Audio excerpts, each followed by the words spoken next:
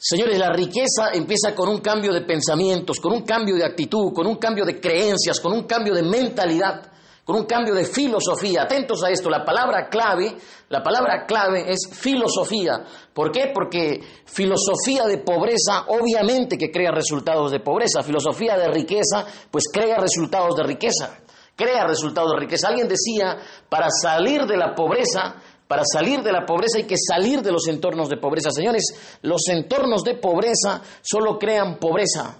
Los entornos de pobreza solo generan pobreza, perpetúan la pobreza, crean más miseria, más escasez. Necesitamos hoy día gente que esté despierta, que quiera ganar, que quiera crecer, que quiera triunfar, que quiera avanzar, que quiera progresar. Eso necesitamos. ¿Qué requiere nuestro país? Ganadores. Hoy más que nunca lo que requiere es ganadores, señores. Gente que se ponga de pie y diga basta de pobreza, basta de sufrimiento, basta de miseria, basta de escasez, basta de pesetear, basta de vendernos barato, basta de ser mano de obra. De hoy en adelante voy a ser empresa, voy a ganar. Ese, ese tipo de gente necesitamos. Gente que quiera hacer eso. ¿Sabe? Usted no es pobre, usted no es pobre por, por, eh, que gana 950 soles, usted no es pobre porque gana 300 dólares al mes, no es pobre por su apellido, no es pobre por su signo del zodiaco, porque es Géminis, Leo, porque es Aries, no, usted no es pobre porque creció en una choza, no es pobre porque se sube todos los días al microbús, a la cúster, en el transporte público, en un camión. No, no es pobre porque las cosas están caras. No eres pobre porque el presidente de tu país, los congresistas o los ministros están metidos en actos de corrupción. Esencialmente, atentos a esto, usted es pobre por su sistema de creencias porque piensa como piensa, porque visiona como visiona, porque tiene la perspectiva que tiene. ¿Sabe? Atentos a esta pregunta, ¿por qué eres pobre? Es una pregunta, quizá una de las preguntas más interesantes, que no exige grandes reflexiones, que no exige grandes estudios, sino sentido común. ¿Por qué eres pobre? Vamos a responder esa pregunta con un texto que compartimos la vez pasada en nuestra página Mundo de Millonarios y ese texto dice exactamente lo siguiente, dice, eres pobre porque gastas todo lo que ganas, eres pobre porque te paras endeudando, eres pobre porque nunca te capacitas, nunca coges un libro, eres pobre porque gastas en licor, en bebidas, en cerveza, eres pobre porque crees en la suerte y no en tu capacidad. Señores, la pobreza no es un misterio. La pobreza no es un misterio, la pobreza es una cultura y se hace todos los días. Se hace todos los días. Si examinamos punto por punto, nos vamos a dar cuenta de lo siguiente. Mire, el pobre cuando tiene dinero, lo primero en lo que piensa es en gastar, en comprar. ¿Sabe? Diferencia entre ricos y pobres. Atentos a esto, diferencia entre ricos y pobres. El pobre es un gran consumidor mientras que el rico es un gran productor. Usted quiere riqueza, enfóquese en producir, en generar. Pobres consumidores, ricos productores. Atento a esto, dice, pobre porque te endeudas. Eres pobre porque te endeudas, te endeudas muchas veces por cosas innecesarias, en cosas que no necesitas, muchas veces para aparentar. ¿Sabe? El pobre es especialista gastando el dinero que todavía no gana. Atento a esto, mira, el pobre es especialista en gastar el dinero que todavía no ha ganado. Es especialista en ir por dónde? Por el camino fácil, por la vía rápida que se llama deuda. ¿Usar qué? El dinero plástico. ¿Y lo usa para qué? Para el consumo. Se endeuda por zapatillas, por ropa, por perfumes, porque pobre que se respeta tiene que usar su loción, su perfume. Y se lo saca en Yambá, Legunik, se mete a eso. El pobre se endeuda por consumo, señores. Nunca vas a ver a un pobre endeudándose para invertir. Nunca. No, pobre se endeuda para comprar artefactos, Señores, atentos a esto, atentos a esto. Diferencia entre ricos y pobres. Mientras el pobre es especialista en gastar el dinero que todavía no ha ganado, el rico es especialista en planificar el dinero que todavía no ha ganado. Es especialista en planificar el dinero que todavía no ha ganado. Dicen las escrituras, las enseñanzas del Nazareno, dicen, el que tiene oídos para oír, que oiga. ¿Qué quiere decir esto de planificar el dinero que todavía no has ganado? Fíjese, el pobre sabe que le van a pagar en quincena. Entonces se endeuda, ¿por qué? Porque está esperanzado de que en quincena o en fin de mes va a recibir un pago. Ya se gastó el dinero. El rico sabe que va a recibir un dinero, y ya está pensando qué hacer con ese dinero, qué negocio hacer, qué inversión hacer con ese dinero. Si usted lee, si usted lee un libro excepcional que se llama Los siete hábitos de la gente altamente efectiva, señor Stephen Covey, dice lo siguiente, Stephen Covey dice, uno de los hábitos de la gente altamente efectiva es tener un fin en mente. Dice el señor Covey, dice, los ganadores, la gente efectiva, termina antes de empezar. El que tiene oídos para oír, que oiga. ¿ah? Mucha gente no lo entiende, mire, terminan antes de empezar, es decir, lo han acabado ¿dónde? En la mente. Antes de empezar ya lo visualizaron. Antes de empezar ellos ya se imaginaron cómo va a ser. Eso hace el rico con su dinero. Sabe que le van a pagar, entonces ya está pensando qué hacer con ese capital, qué negocio hacer, qué negocio mover, dónde inyectar esos fondos. Mientras que el pobre está pensando qué comprarse, qué deuda pagar, por eso le digo que el rico es especialista en planificar el dinero que todavía no ha ganado, mientras el pobre es especialista en gastar el dinero que todavía no ha ganado. Señores, hemos hablado también de la política, de que hay gente que pasa más al pendiente de los políticos de su país que de su propia vida. Gente que se queja de que somos una sociedad atrasada, un país poco educado, de que somos un país en vías de desarrollo. Sin embargo, esa gente, esa gente que se queja, esa es la gente que nunca coge un libro, esa es la gente que nunca se educa, esa es la gente que nunca va a un entrenamiento. Años votando por los mismos sinvergüenzas, por los mismos corruptos y años quejándose, haciéndose los pobrecitos, haciéndose las víctimas, reclamando que hay inseguridad, reclamando que hay desempleo, reclamando que falta trabajo. ¿Sabe cuál es la mejor forma de hacer patria? ¿Cuál es la mejor forma de hacer país? ¿Cuál es la mejor forma de ponerse la camiseta de su nación? Creando riqueza, haciendo empresas, haciendo negocios, levantando empresas, haciendo marcas. Es la mejor forma de hacer patria, creando trabajo. Cuando usted paga sus impuestos, usted hace patria. Cuando usted crea una empresa y da trabajo, usted está haciendo mucho por este país. Señores, la gente que se queja, curiosamente, es la gente que menos hace. La gente que se la pasa haciéndose la víctima, reclamando que esto y que lo otro, curiosamente, es la que menos hace. Hoy día lo que precisamos es gente que, como decía Robert Kiyosaki, se eduque financieramente, de que se eduque financieramente. Decía Kiyosaki en uno de sus libros, mi mejor manera de protegerme contra los gobiernos corruptos e ineficientes es con mi educación financiera. Con mi educación financiera. Háganse cargo de su vida, señores. Háganse cargo de su vida. Miren para adentro, ordenen sus finanzas. De la política que se encarguen los políticos. De su vida encárguese usted. Su vida no va a mejorar cuando los políticos mejoren. Los políticos no van a hacer la diferencia. El que tiene que hacer la diferencia es usted. El que tiene que hacer el cambio es usted. Usted tiene que ser presidente de su vida, gobernante de su vida, ministro de su vida, el congresista de su vida. Hay gente que nunca coge un libro. Lo máximo que cogen es el trome la sección de espectáculos para ver a la chica del día. Señores, cambio, cambio de mentalidad, cambio de filosofía. Fíjese, en nuestro país tenemos un asunto de cultura y muchísima gente cuando va a jugar fulbito, fíjese cómo es la mediocridad, la pobreza mental, que muchísima gente cuando va a jugar un fulbito, un partido de fulbito, ya no dice vamos a jugar fulbito, dice vamos a jugar full vaso. Full vaso, ¿por qué? Porque después de jugar lo que se meten es cerveza, trago, lo que se meten es una borrachera, una parranda. Y sabe, con esa mentalidad nunca vas a progresar, nunca vas a crecer, nunca vas a cambiar, nunca vas a salir adelante, siempre vas a vivir en la pobreza. ¿Por qué? Porque figúrese, se van a jugar y luego a tomar. Full vaso, ya no fulvito, sino full vaso. Eso no es mediocridad. ¿Qué es eso? Eso no es un tipo de pobreza un tipo que en su casa no tiene libros, un tipo que en su casa a sus hijos lo único que le da es un mal ejemplo, un tipo que a sus hijos siempre les dice no tengo, no me alcanza, ese es el tipo que va y toma cerveza. Para cerveza, para trago, para licor, ahí sí tiene plata. Pero cuando le dicen que compre un libro, no tiene plata. Cuando le dicen que ahorre para que haga un negocio, no tiene plata. Para eso no alcanza, pero para el full vaso sí alcanza. ¿No es eso mediocridad? ¿No es eso mediocridad? ¿Qué es eso entonces? ¿Eso no es un tipo de pobreza? ¿Eso no es lo que le hace daño a nuestro país? ¿Eso no es lo que nos mantiene en el atraso?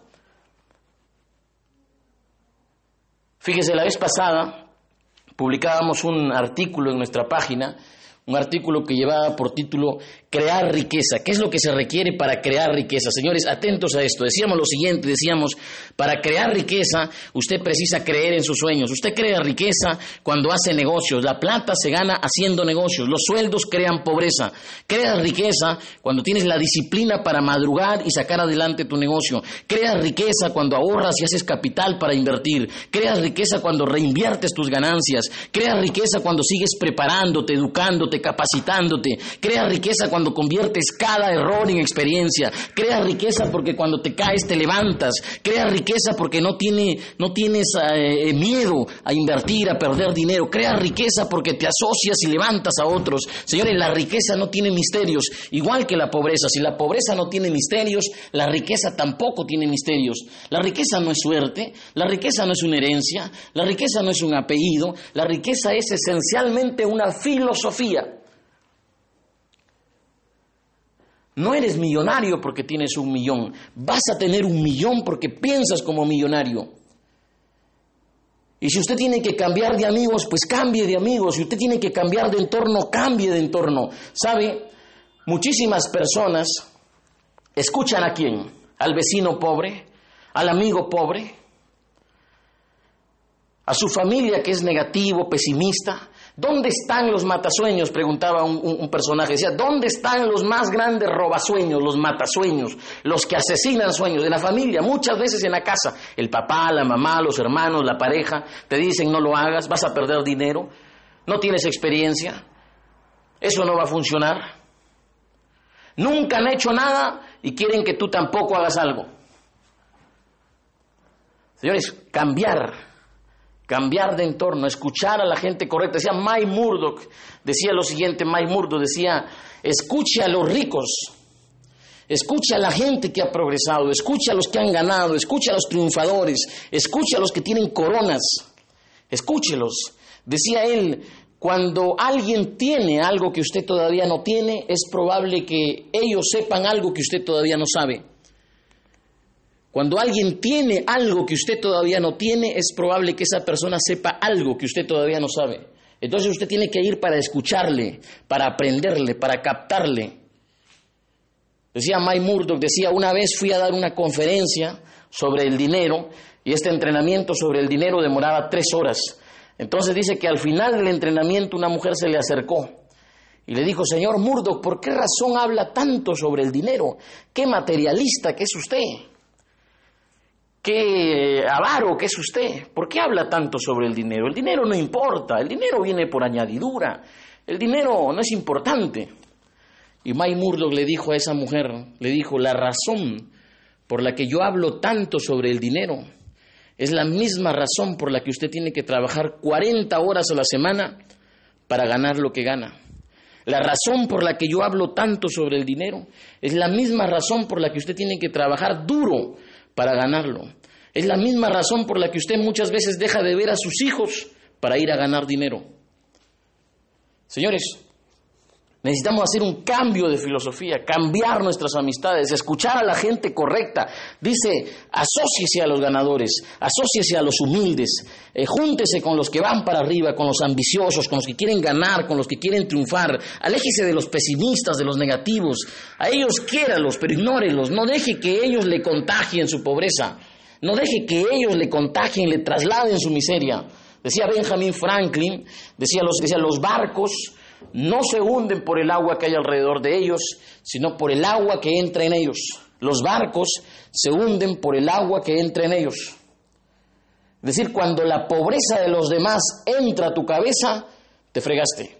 Cuando dejas que la pobreza de los demás entre a tu corazón, te fregaste. Cuando usted permite que la negatividad de otros entre en usted, se fregó. Cuando usted permite que el pesimismo de otros lo contagie, entonces es ahí cuando entramos en problemas.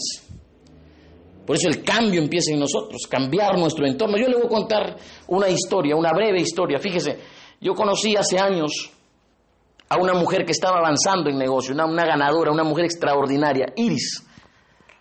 Y ella siempre se capacitaba, leía y avanzaba y le iba bien en sus negocios. Una mujer que conocimiento que adquiría y conocimiento que aplicaba. Y ella decía lo siguiente, decía, conocimiento que no cambia el comportamiento es en vano.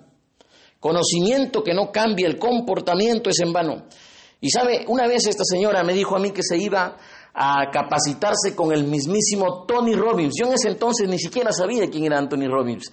Y resulta que este señor Anthony Robbins, pues es una eminencia en el campo del desarrollo personal, de la psicología del éxito, y ella se iba a un entrenamiento nada más y nada menos que con el mismísimo Anthony Robbins. Y me dijo que se iba a una isla, a una isla que se llama Isla Fi, Fi, Fifi, algo así se llama esta isla, y que el entrenamiento le costaba 12 mil dólares. Entonces, hace años, yo con mi mentalidad de pobreza, le dije, ¿tanto vas a pagar por un entrenamiento? Tanto, 12 mil dólares. Y encima vas a poner tu pasaje y tu alojamiento. No, le dije yo, mucha plata. ¿Por qué mejor no escuchas YouTube? ¿Por qué mejor no compras los libros y ahí eh, aprendes eso que vas a escuchar allá con Anthony Robbins? Mentalidad de pobreza, fíjese. Y ella me dice, yo no solo voy por el conocimiento, yo no solo voy por lo que voy a, escuchar, yo voy porque yo quiero rodearme con la gente que puede pagar ese entrenamiento.